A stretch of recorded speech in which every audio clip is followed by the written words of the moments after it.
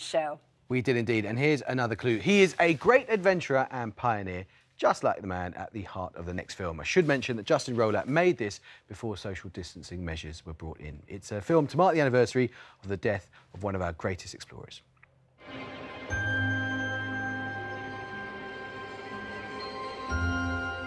Antarctica may be hauntingly beautiful, but it is one of the most hostile environments on Earth.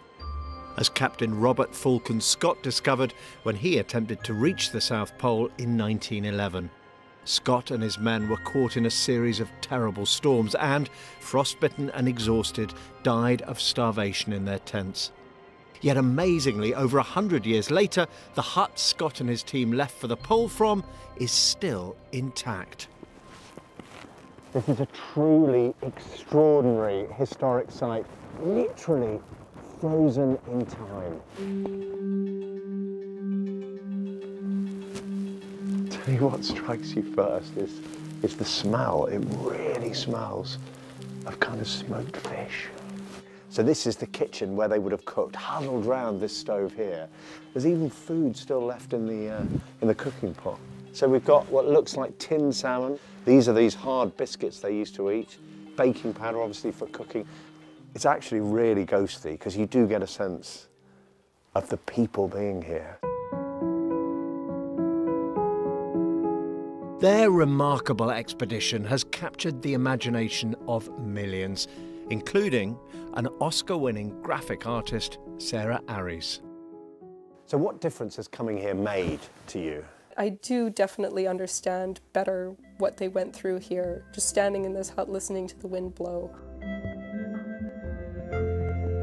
I'm doing a graphic novel adaptation of The Worst Journey in the World, which is a book written by one of the younger members of the party, who didn't die, obviously. Um, he, when he got back to civilization, he, he wrote up his memoir of the expedition. So why does Scott's story captivate you? I mean, it's just the best action movie. there's, there's all sorts of feats of daring do and narrow scrapes and tobogganing down ice falls and it's so much fun. I think that that's something people sometimes lose when they're reading the words on the page. Like they hear the description, but they're not really seeing the epic adventure cinema that, that I see in my head when I'm reading it. I find it really inspiring just to see how wonderful people can be in adverse circumstances. Sarah became so fascinated by Captain Scott's final expedition that she moved to England to work full time on her graphic novel, giving up a lucrative Hollywood career. It was a good job at Disney. I've given up a lot of paycheck. I'm living like a student again.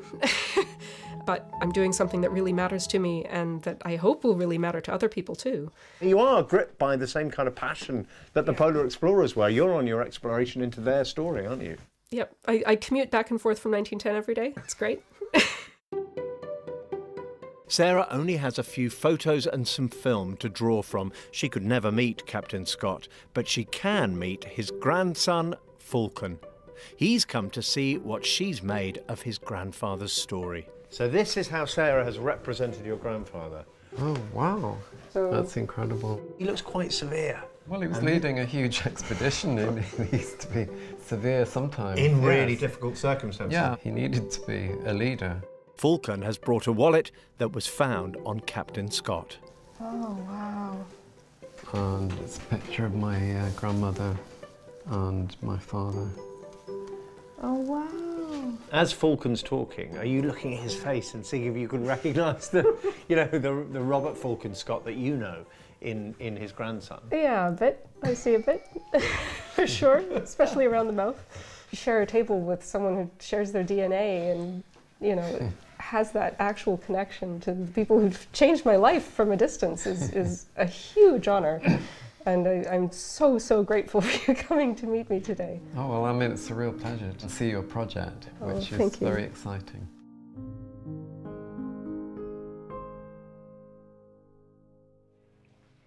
What an extraordinary legacy. Mm. Thank you so much for that, Justin. Now, from one